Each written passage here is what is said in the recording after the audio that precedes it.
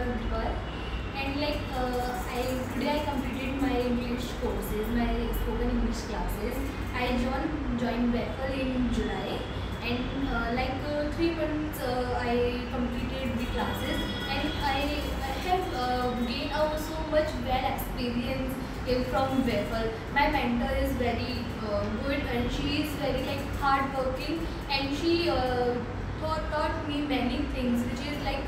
Uh, gives she gives me many tips for me which is very useful for my future and I work on them. Like uh, she uh, told me many spoken structures um, uh, and uh, apart from studies like English classes she uh, she told me many things about related to life.